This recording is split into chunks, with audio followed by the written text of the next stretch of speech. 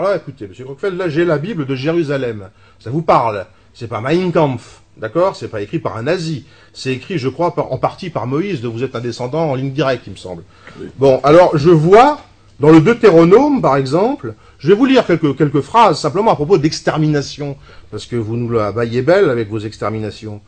Alors je vois, c'est peu à peu que Yahvé ton Dieu détruira ces nations devant toi. Tu ne pourras les exterminer sur le champ, de peur que les bêtes sauvages se multiplient à ton détriment, mais Yahvé ton Dieu te les livrera, et elles resteront en proie à de grands troubles jusqu'à qu'elles soient détruites. Il livrera leur roi en ton pouvoir, et tu effaceras leur nom de dessous les cieux. Nul ne tiendra devant toi jusqu'à ce que tu les aies exterminés. Voilà, ça date d'il y a 2500 ans, c'est pas d'il y a 50 ans. Citation pour citation. J'en ai d'autres, évidemment. Ça, c'est... Attendez, attendez.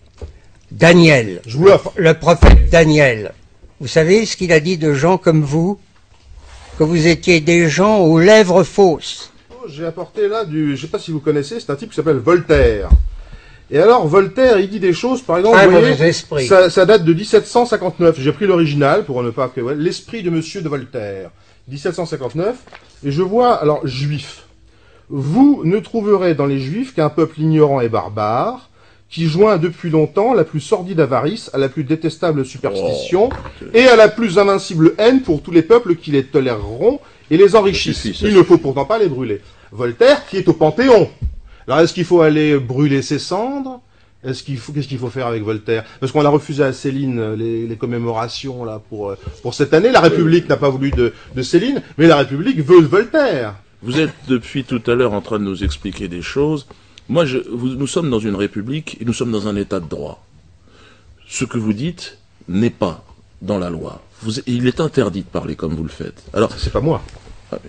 écoutez, là, vous me parlez de Voltaire. Mais moi, je citation vous de parle Voltaire. de votre documentaire, monsieur. Vous êtes un hors-la-loi. Vous vous situez en dehors des règles parce que nous, nous avons défini des règles pour vivre ensemble, harmonieusement, nous respecter, respecter les morts. qui les ai définis. hein. Alors, oui, mais nous, nous devons les respecter. C'est une assemblée, euh, cette loi euh, Fabius-Guesso, qui est une loi qui s'est imposée d'elle-même. Aujourd'hui, vous, vous êtes un hors-la-loi. Vous venez, nous acceptons de discuter avec vous, mais vous ne faites aucun effort. C'est ça qui me choque. Ah non, ça c'est vrai. Vous faites aucun effort. Non, ça je reconnais que j'en fais pas. Mais pourquoi ne pas ne reconnaître? La réalité des choses, c'est que le pouvoir existe aujourd'hui, il est entre les mains de gens que vous combattez. Mais pourquoi ne pas l'accepter? Ben, moi, il me semble que j'ai fait un documentaire sur un homme qui n'a jamais pu s'exprimer dans les médias depuis 40 ans et qui est l'homme le plus haï de France. Donc il me semble avoir fait la moindre des choses. Non, sans raison.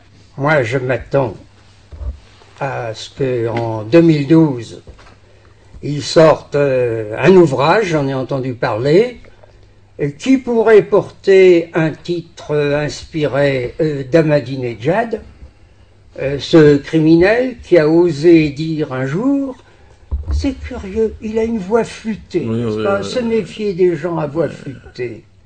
Qui d'une voix flûtée nous a dit c'est curieux, en Occident, on n'a pas le droit d'approcher de la boîte noire de l'Holocauste pour voir ce qu'il y a dedans. Vous le faites bien. Euh, J'imite un criminel. Ah, vous faites pas bien. Bien sûr. Et vo- voilà où nous en sommes à cause d'individus de cette espèce. Il ne m'étonnerait pas que sorte un livre qui s'intitulerait La boîte noire de l'Holocauste.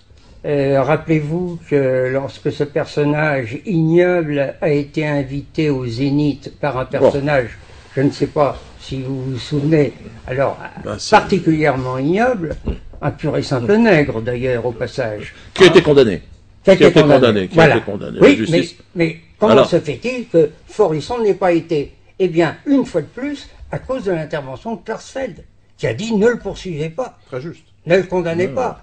Euh, je suis entouré de traîtres, de gens qui désertent la cause, qui disent euh, c'est fini, euh, on a eu trop de quenelles, on n'en peut plus. Ah, Qu'est-ce que vous voulez euh, Je reste seul.